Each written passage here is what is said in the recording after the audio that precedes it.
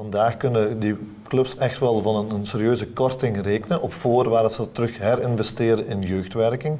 Alleen is dat vandaag voor ons totaal niet duidelijk. Nu, een studie van der Wat heeft afgelopen zomer uitgewezen dat er 38 miljoen zou geïnvesteerd zijn in het jeugdvoetbal. U had het in de hoorzitting over 26 miljoen. Nu, los van de vraag hoeveel het nu precies is, het zit er wel in. Ja, maar het is, voor mij vandaag, het, is vandaag voor mij niet 100% duidelijk op welke manier dat ze ze investeren. Het kan goed zijn, het kan perfect mogelijk zijn dat je een speler die in de eerste klasse voetbalt, dat je gewoon deze contract erbij betaalt als die jonger dan 23 jaar is, omdat je hem nog onder de jeugdwerking laat vallen. En dat kan toch helemaal niet de bedoeling zijn dat de overheidsgeld gaan gebruiken om de lonen van profvoetballers te gaan betalen.